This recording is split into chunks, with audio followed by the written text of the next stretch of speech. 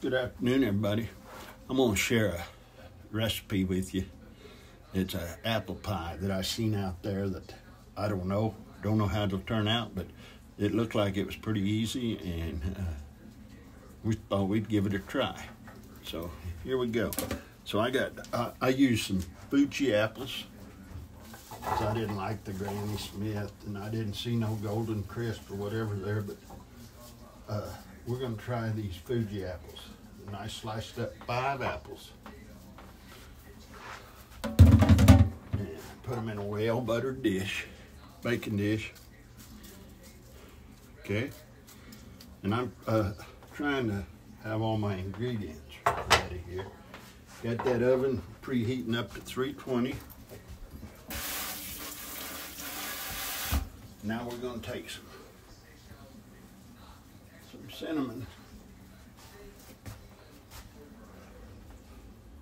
and spread on top these apples and arrange them apples in there like that. This is my first time making this, so I don't know how it's gonna go. But we're gonna find out.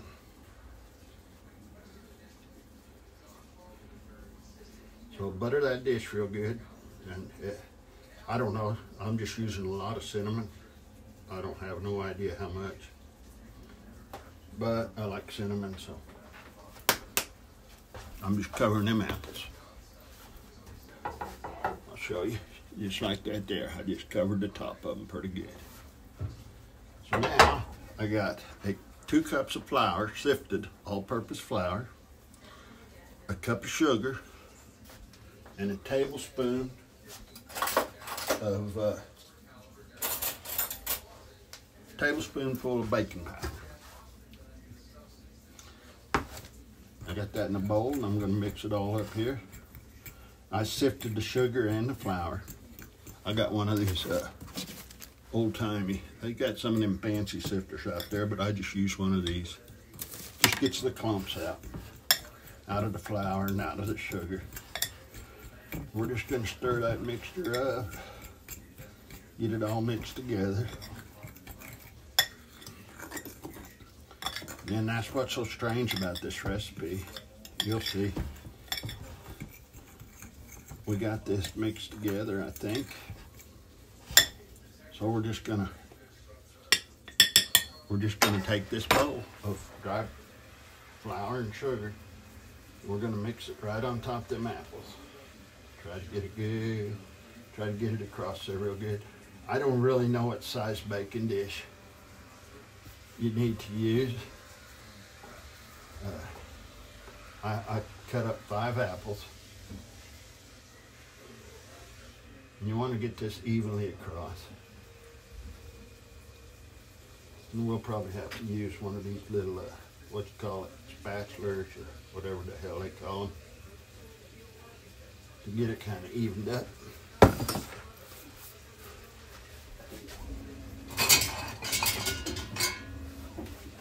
One of these delis. So I'm just going to try to push that all across there. Just cover them apples. And try to get that flour and that sugar across there evenly as you can. That's what the recipe showed anyway.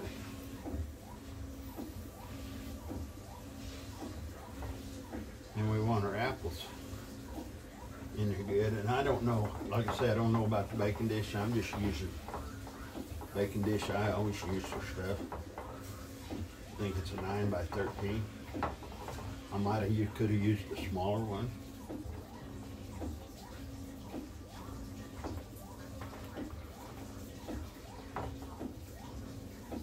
But we're gonna go like that. And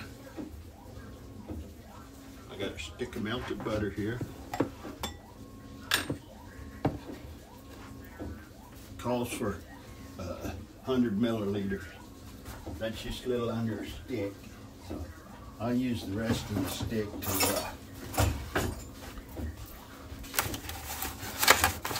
uh, butter my dish with.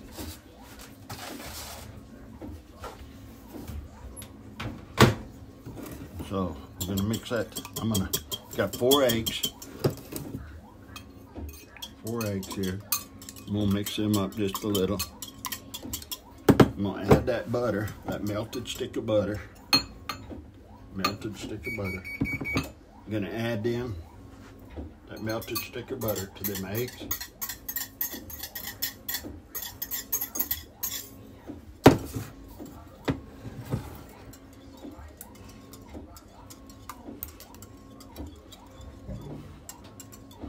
We're gonna whisk that up.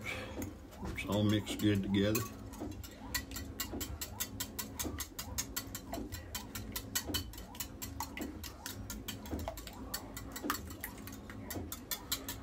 Then gonna try to pour that across the top of that dish evenly.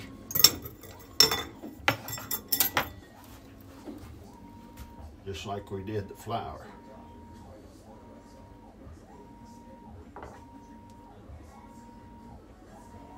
And I don't know if you can see what I'm doing or not.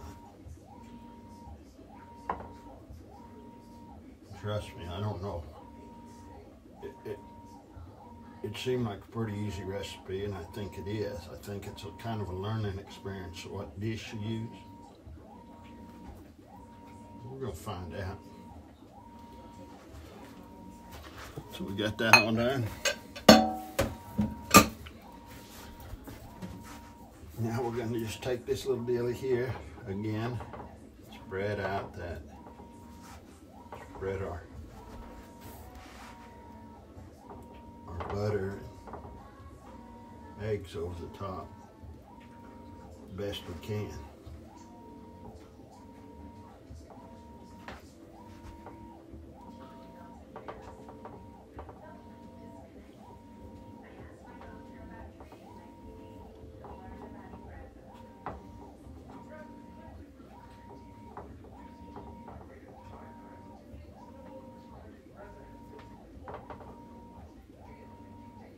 Be fun to see how it turns out.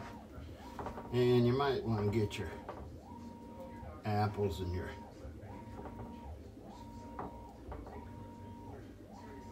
um, I mean, I didn't get them exactly level.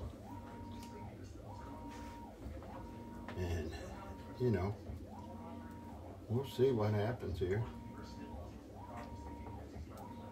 That's going to be the main deal.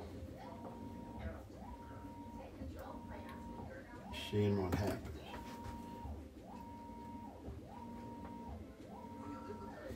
But anyway, we got that done, I think.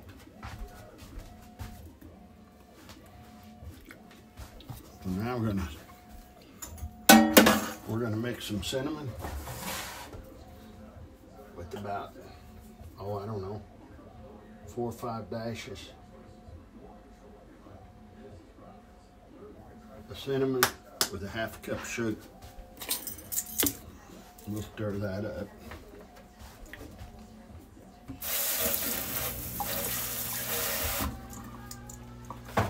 You know, the biggest thing is getting all your stuff ready. And that, and that ain't hard either. It's a, I got a little kitchen here. I mean, I love it. It's just big enough for me. Sometimes it's hard to get stuff arranged in it where you want it when you're baking. But uh,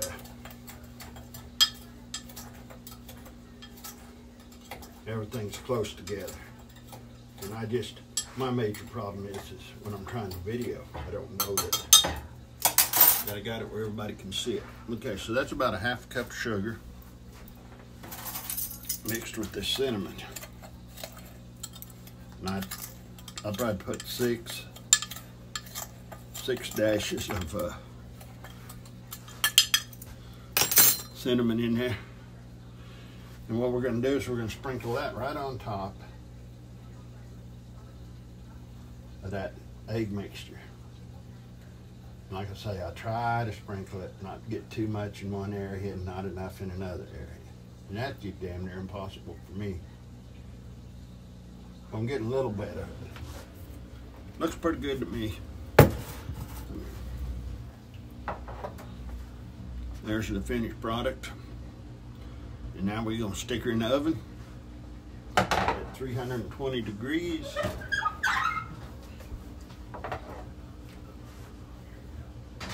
for about 40 minutes.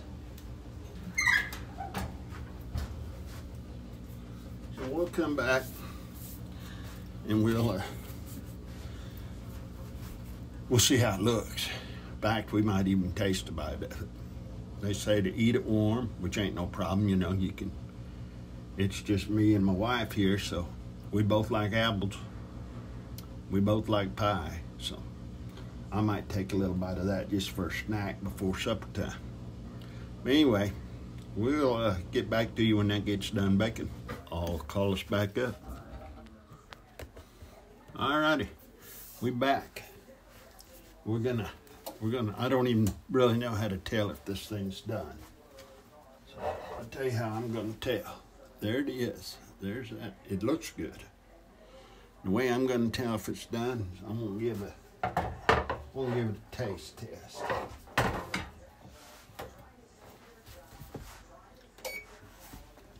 I mean, it looks done. So, Say the thing to do there is to, I don't know how long you gotta let it sit or nothing.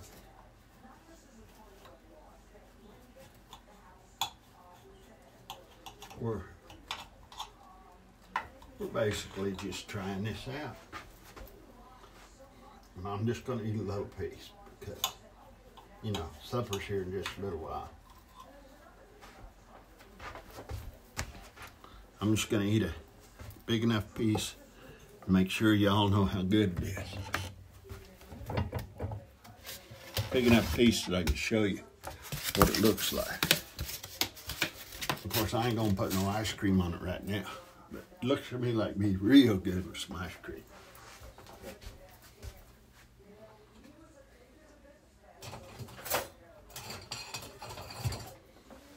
Of course, you know, I ain't never really found nothing that ain't good with ice cream.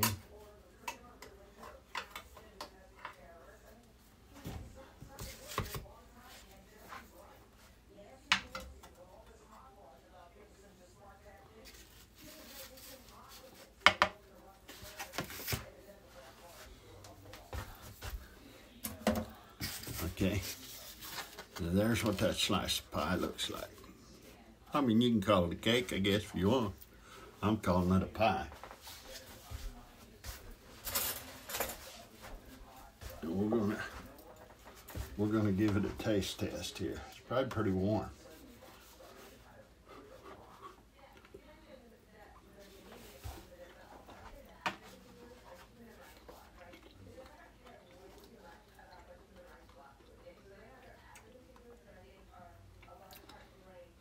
Can handle it.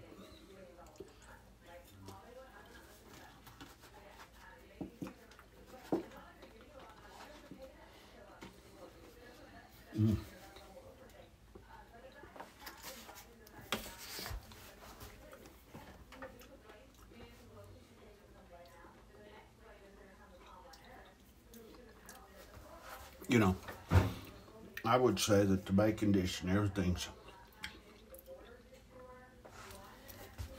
about the right size. I would try it with, you know, I like Granny Smith apples. I just didn't see any good enough in the store there that I like.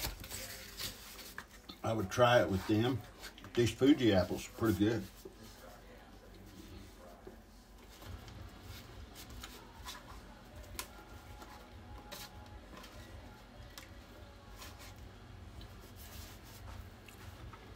Kind of see the bite there. That's mainly crust.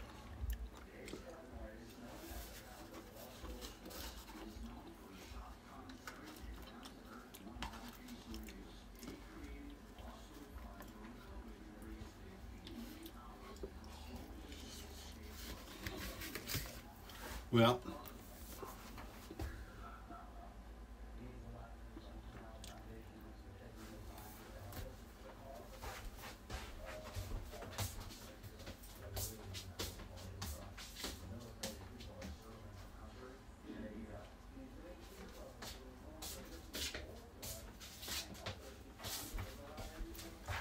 I won't you. I really have no complaints. I think it's pretty good. I'm gonna have me a, a cup of coffee with and finish that off. And I tell you, if you if you like pie or anything like that, you like new recipes, give that a try. You know, all I can say about it is it's good. It's real good.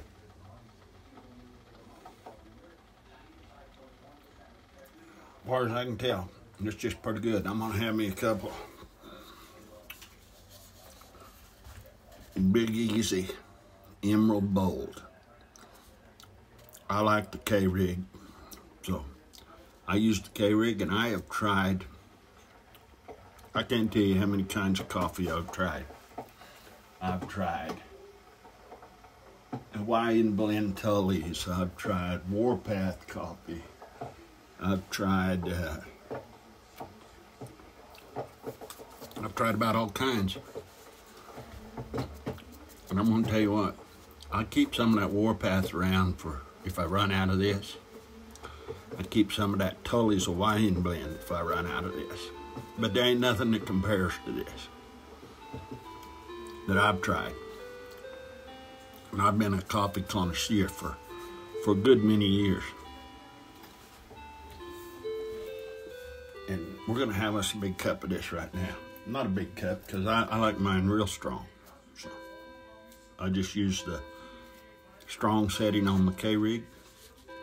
And I'm gonna get that cooking right now. While I visit here with you just a little minute or two. And uh, I'm going to tell you, try this recipe if you get a chance. Try it for Thanksgiving.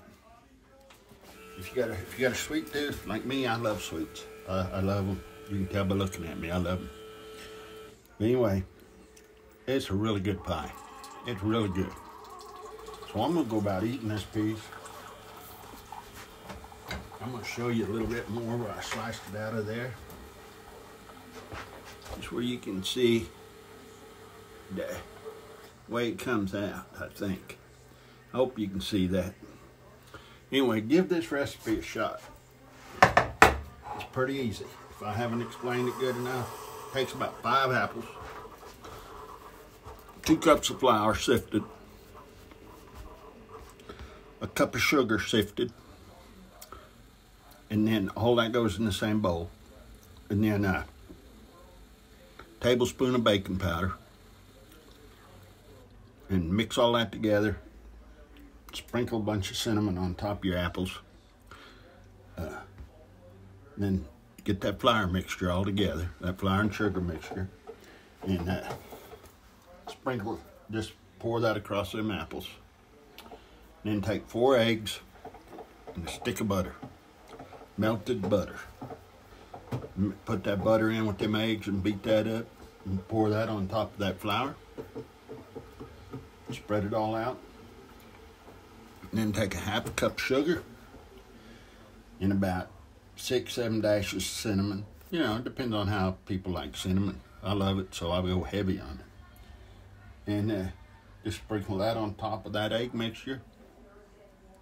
Put it in the oven for about 40 minutes. I cooked mine for 44 minutes. Uh, Cause I got an old oven and I don't know how good it does, but it sure cooked this up nice. Anyway, and just enjoy. It's gonna be good. I might even try one for Thanksgiving. Well, I hope you do try this recipe, and I hope that uh, you're having a great day. And hey, I might try some more recipes with you before Thanksgiving. I found a few. Uh, gonna give them a shot. Everybody have a great day, and God bless.